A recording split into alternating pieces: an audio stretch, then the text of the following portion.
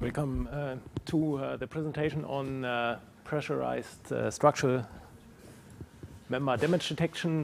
this goes to some work we did together with Neostrain, with Gregor Spetnarski and Jakub Nitric.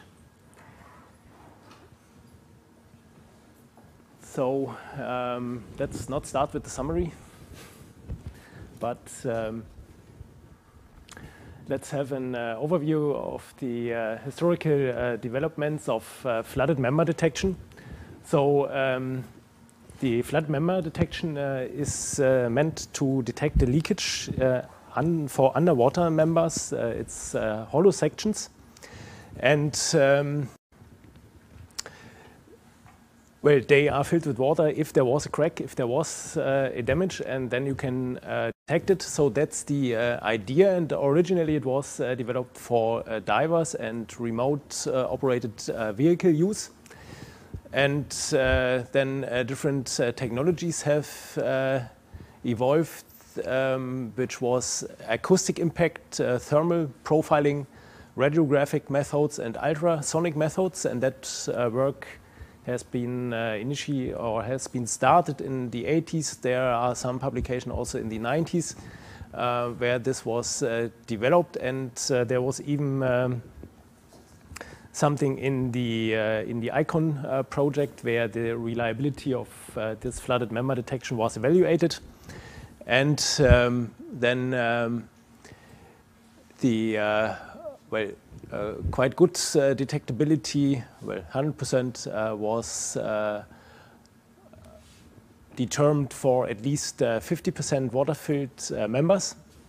and this was sorry, based on ultrasonic flooded member detection. If there was only little water in, then the reliability or the probability of this detection decreased. So um, coming from the uh, diver-based and ROV-based uh, flooded member detection uh, to uh, permanently installed uh, systems, uh, this was proposed by researchers from the University of Manchester. there is Burdekin was there involved, very well-known lecturer. I've been taking lectures uh, by him in 2000 when I was uh, there. Um, so uh, this was um, this describes, I think, also with the use of ultrasonics. Uh, first, the uh, detection of uh, water-filled members underwater. And second, then the communication is also done by ultrasonics um, to uh, to get the alarm of the sensors uh, communicated. So um, these approaches uh, were specifically uh, developed for underwater uh, detection. So if there was a part of the hollow structure, uh, like we have jackets, for instance, in the offshore area above the water, you cannot detect. And also not in the splash zone, which maybe also uh, quite subjected to uh, to damages.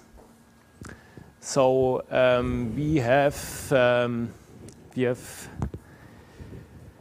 well, we, we came across uh, this method, and uh, but the background was that we were uh, challenged by offshore wind turbines, by substructures of offshore wind turbines, and um, we then formed uh, a team of SHM specialists, uh, specialists uh, so that is Neostrain. we had the structural designers and consultants involved, the GBO, and uh, the uh, Safe Infra uh, research group of BAM, where well, I'm still partly associated to that. So, um, and we came up with um, we could, uh, uh, we could uh, especially well, that, that, goes to Neostrain. Neostrain had the idea we could pressurize the members, and then we are able to uh, detect damages in uh, the complete uh, jacket. So underwater, in the splash zone, and also on top of water. So um, that must be pressurized, that uh, the, the uh, structure must be pressurized so that the level of pressure is uh, over the uh, water pressure or the surrounding uh, pressure. And uh, we could then easily monitor the pressure and detect a pressure drop, which indicates then that our structure is damaged. So um, we, uh, we uh, have developed here a technical uh, concept, for instance, for this uh, jacket structure. And um, we uh, sorted out here some uh, details. for instance, the braces are welded to, to the legs, but there's naturally no connection, but this can be uh, can be done by, by drill, drilling holes in it, and this was also checked for fatigue. Um, so there is no uh, fatigue problems we are uh, inducing here when we uh, have uh, the braces and the uh, corner legs connected. Neostrain did quite some tests in their laboratory. Um, so and uh, with the concepts, uh, we progressed on the technology readiness level. So at the moment, we are, I think, at stage four with the technology readiness level. Um, so this uh, means uh, component and or system validation in laboratory environment. Uh, this is the tests we did or Neostrain did, and there is uh, pressure stability uh, with uh, these systems between minus 20 and 40 degrees of Celsius. this was tested, but it must be temperature compensated. Um, so uh, this uh, seems to be uh, straightforward to be achieved. And um, currently, this technology is European patent pending.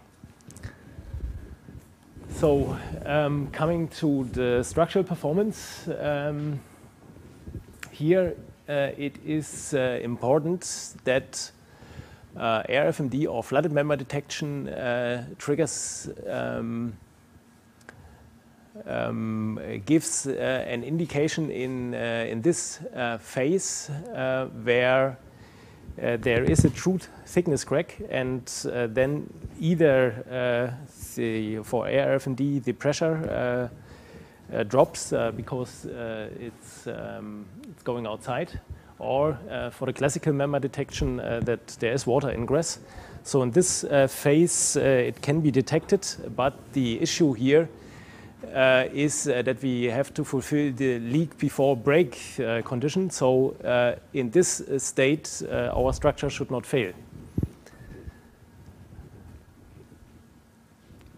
And um, well, this is the main uh, issue for, for the structural uh, performance, and that can be quantified. I think uh, there's also something uh, where we can rely on, uh, which was produced by Burdekin and his uh, researchers. Um, for quantifying the value of structural health monitoring, um, well, we, we are in the discussion phase, and um, this is some points uh, which came to my mind. Um, so uh, what we have or what we can achieve is a coverage of a complete hollow section structure. And uh, if we can uh, completely cover it uh, and can monitor it, uh, we may also be able to replace inspections, which are extremely cost, costly in um, in the offshore environment. Um, we also, uh, this was a technical concept, think that uh, robust uh, ARFMD uh, design um, may be possible or is possible. So uh, in terms of uh, long-living sensors, in terms of data normalization, this is a little easier than data normalization for maybe vibration signals. Uh, and also the uh, data transfer. Um, well, we are detecting then with this uh, system relatively large uh, defects. Uh, you've seen that in the uh, in this slide here. So this is already a through thickness crack. So um, the component reliability may be low, but if you have a redundant system, uh, the system reliability uh, can still be high. and of course, the issue the we have also to discuss is uh, the costs of, uh, of this ARFMD uh, solution. So they seemed for the concept we produced quite reasonable. So, uh, but in the end, we would uh, need to uh, quantify the value of ARFMD. And um, well, coming to, to the wish list, um, this would be rather a wish list uh, of points we uh, should uh, further, we could further work on. So if there was a PhD student who is interested in this technology, they are very welcome to join us. and we will also do efforts um, to go through these uh, points and to come up with the uh, quantification of uh, the value of this technology. So, and uh, this is uh, the main point, point I wanted to make. Uh, this, is, uh, this was networking, we didn't even have a networking project.